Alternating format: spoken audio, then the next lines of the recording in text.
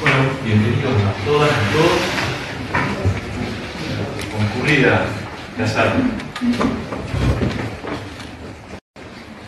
Bueno, primero agradecerles que hayan aceptado concurrir la convocatoria.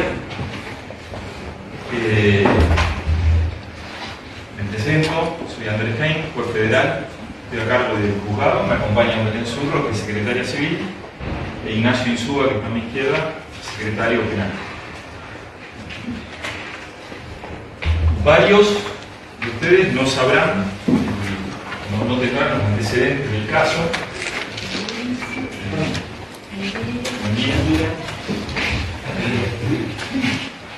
Lo desconoce- desconocerán. eh, tampoco tienen muy en claro cuál es la, la idea de una audiencia de estas características, ¿no? Que, bueno, también es una novedad para, el juzgado y para la jurisdicción. Y, en lo que respecta al caso, eh, bueno, es un caso que reviste distintas aristas que van desde el individual, como por ejemplo la salud de las personas que eventualmente pueden haber sido afectadas por un hecho presuntamente delictivo, hasta un posible daño al ambiente, que bueno, hay una investigación penal en curso que hay que determinarlo, ¿no? Eh, entonces, ante esa situación de intereses que están dentro del marco de cualquier comunidad, eh, la Constitución Nacional establece un, parámetro claro de trabajo, cómo hay que velar por el resguardo del, del ambiente, o sea, hay un mandato constitucional claro, el artículo 41. Y bueno, después hay un, un universo de leyes, eh, tanto que rigen específicamente en materia ambiental, de preservación y protección del ambiente, como eh, disposiciones administrativas, resoluciones, ordenanzas, eh, leyes provinciales. Bueno, hay un abanico bien diversificado que regula la temática. Pero también hay una contracara, determinados comportamientos de cualquiera de nosotros, cualquier ciudadano, pueden dar lugar a sanciones penales. Eh, y bueno, y el origen de este caso, precisamente, parte de una denuncia penal, por eso intervenimos nosotros, eh, donde el hecho que ha circunscrito el Ministerio Público Fiscal podría dar lugar a un posible delito. Y acá tengo que ser muy claro y que todos los presentes lo, tengamos, por lo menos lo, entendamos, y el que no lo entiende con total libertad levanta la mano y pide explicación del caso. Hay que separar en, en- en dos supuestos totalmente diferentes.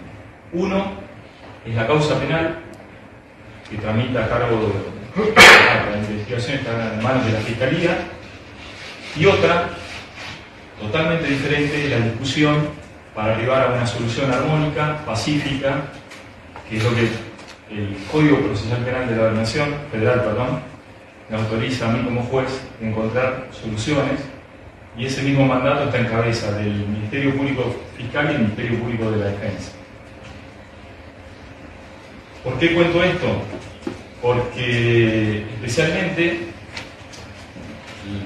la Fiscalía después irá a contar el, objeto de investigación y, y las presentaciones que ha hecho en el marco de la causa, pero a nosotros como juzgado eh, nos eh, tenemos una obligación también por mandato constitucional de preservar los derechos y garantías de los posibles involucrados.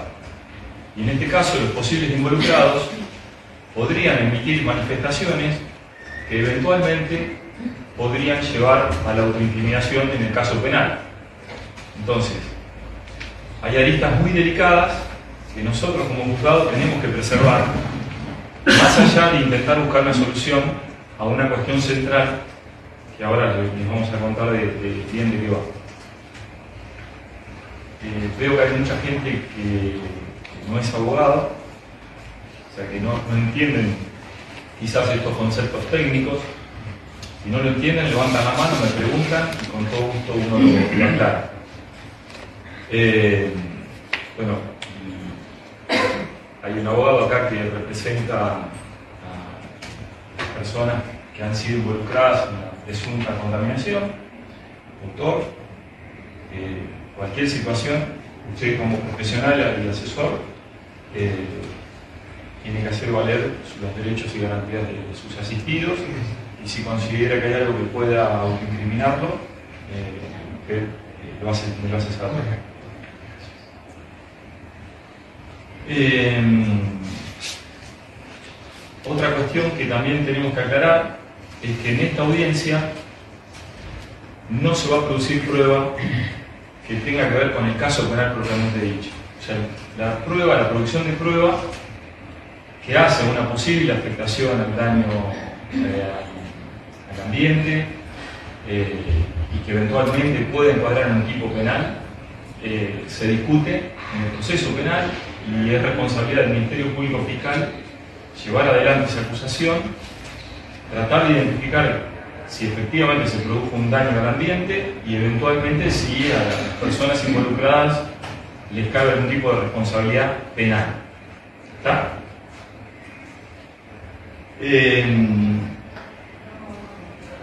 En mi caso, en el día de hoy voy a escuchar a todos los aquí presentes hemos establecido un orden, ese orden es arbitrario, así que pido disculpas, pero por algún lado tenemos que comenzar.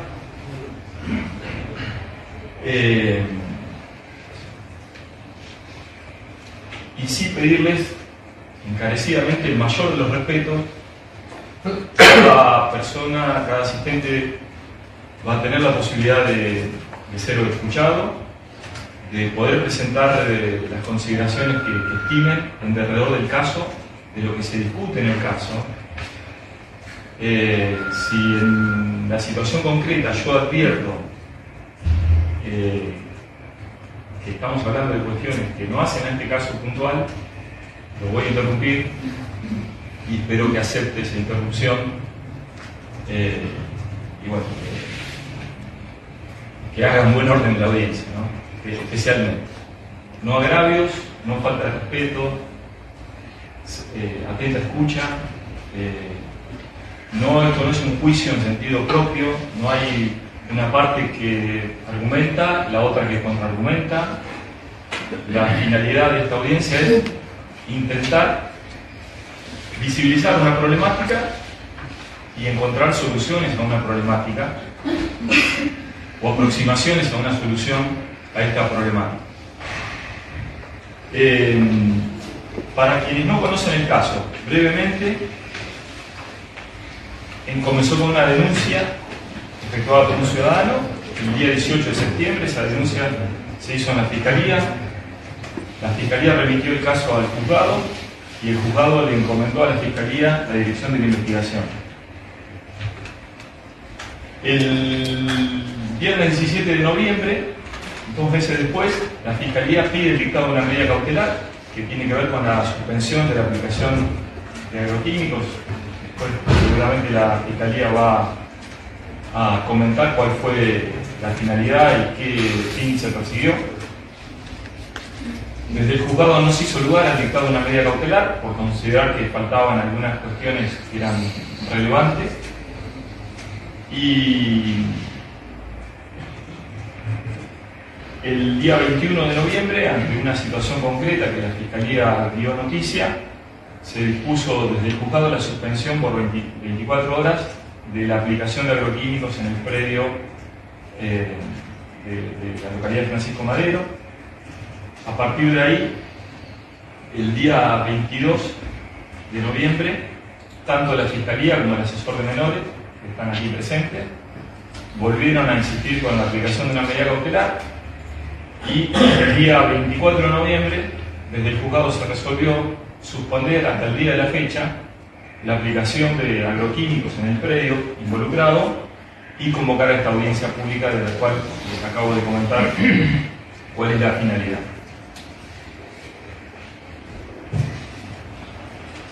¿Alguien tiene alguna inquietud? ¿No le quedó muy claro algo de lo que acabo de comentar?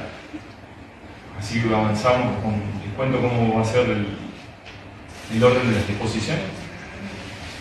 Con confianza, ¿eh? no, no hay problema. ¿No? De paso, presento a quienes conozco, ¿no?